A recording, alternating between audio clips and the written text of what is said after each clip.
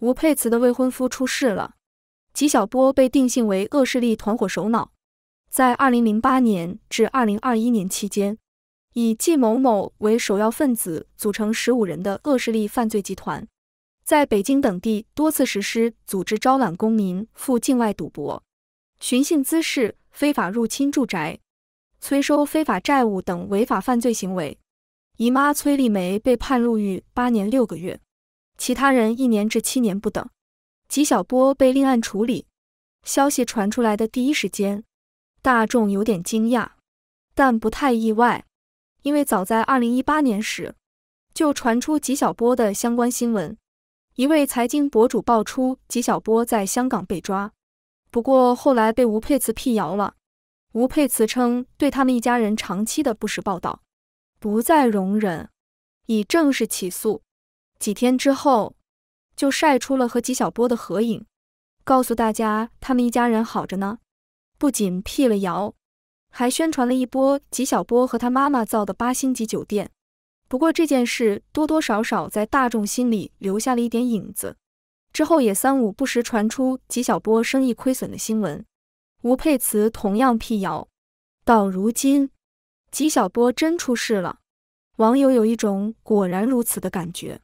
毕竟澳门那边靠赌发家的，已经倒下了安以轩的老公陈荣炼。相比较上次安以轩的新闻，网友冷眼看热闹。这一次吴佩慈未婚夫出事，网友态度有点微妙，说不结婚的吴佩慈是最大赢家，钱他拿了，但风险不需要他担。回想起吴佩慈这一路走来，从娱乐圈边角女艺人进阶成豪门未婚妻。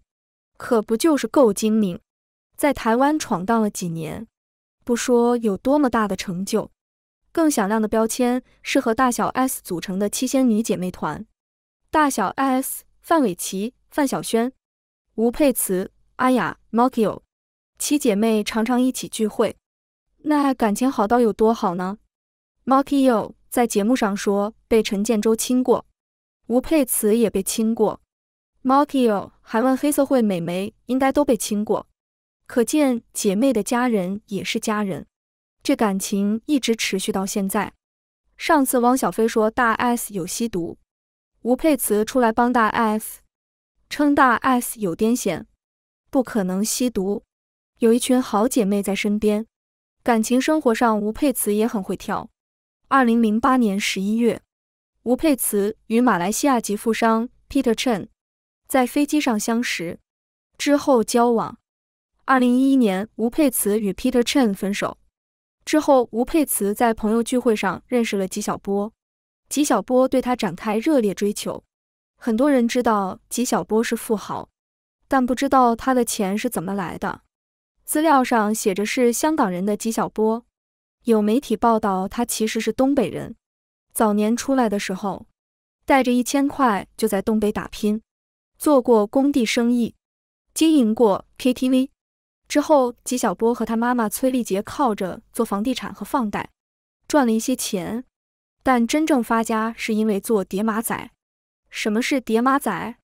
就是赌场的中介，给赌场拉客人，拉到了就有佣金。纪晓波还为此成立了一个中介公司，叫恒生。叠马仔除了佣金赚钱，有船，还有放贷以及洗钱。赌场有多赚钱，大家都知道，数额高到你我平民小百姓想都想不到。二零一二年，国美电器前主席黄光裕在澳门赌场内一夜输光了十亿港元。二零一七年，金立董事长刘立荣因赌钱输了十几亿，动辄以亿为单位流动的赌场。纪晓波当时开的恒生中介公司，据说一年过手的赌额在五千亿港元。数额高到吓人。二零一三年，纪晓波操控的恒生要上市了，吴佩慈跑出来哭了一番，说辛苦赚钱的苦日子到头了，以后有人宠他照顾他，他连自己身上的新行头多少钱都不知道。当然，这个福不是一般人能享。吴佩慈刚刚生头胎，孩子三个月大，颖儿和纪晓波的亲密照传出来，后来吴佩慈和纪晓波回应是陈年往事。显然是不想再多说。结果颖儿发了条微博，说我和灰太狼合影，明天我会不会也成了灰太狼的小三啊？除开这些之外，纪晓波还时不时传出包养什么意大利辣妹，以及和圈内女星传出绯闻。但身经百战的吴佩慈早已习惯，并不在意。从2014年到2020年，六年间剖腹产，生下四个孩子，两儿两女。虽然生了这么多，但两人一直没领证。王思聪给取名单亲妈妈。当然，吴佩慈依旧不在意。结婚之后，她主要做三件事：一、宣布退圈，之后一胎一胎的生；二、尽情秀豪华生活，上节目时细数自己的行头：五十四万的爱马仕，八千块的护照夹，还有纪晓波送的肖邦表。